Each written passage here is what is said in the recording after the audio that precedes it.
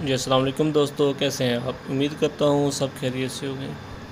जैसा कि आप देख रहे हैं, ये काओ लीवर फ्लू की वजह से बहुत वीक हो गई है और कमज़ोर हो गई है। अब इसमें इतनी ताकत भी नहीं है कि ये चल फिर सके। फार्मर्स भाई, आप बहुत गलती करते हैं जानवर के साथ। आपको समझा समझा कर मैं थक गया हूँ। आप नहीं समझते। मैं यही हर हवेली में जाकर कहता हूँ, हर फार्मर से कहता हूँ, जब भी जानवर वीक होने लगे, उसी वक्त डॉक्टर से रजू किया करें। लेकिन आपको समझ नहीं आती। चले, कोई बात नहीं। अब ये आप देख रहे हैं, ये ऊपर छोटी वीडियो भी चल रही है, इसकी ट्रीटमेंट की।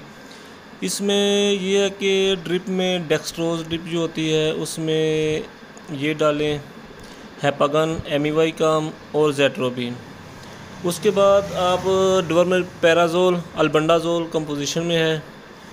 वो इसको लिक्विड पानी में या दूध में पिला दें।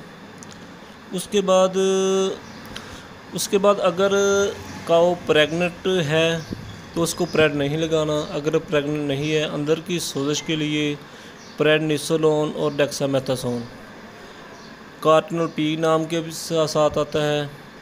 और पीना कार्ड के नाम पर भी आता है।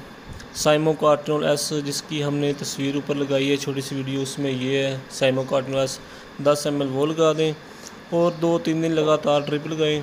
हमने ड्रिप लगाई, उसी वक्त का वो जो है, वो होशियार होगी और अपनी टांगों पे खड़ी होगी अल्हम्दुलिल्लाह, इसने चारा खाना भी शुरू कर दिया। लेकिन ये दो तीन दिन ये ट्रीटमेंट जो है, वो किया करें। जो डवर्मिंग है, पैराजोल, अल्बंडाजोल में ये एक बार दे के दोबारा हफ़्ते बाद रिपीट फिर करें। और उसके बाद जो है, हैपागन एम वाई काम जेट्रोपिन आईवी ड्रिप में डाल के दिया, दें और जो इंजेक्शन है कीटोजेक और पेंसिलिन ग्रुप में।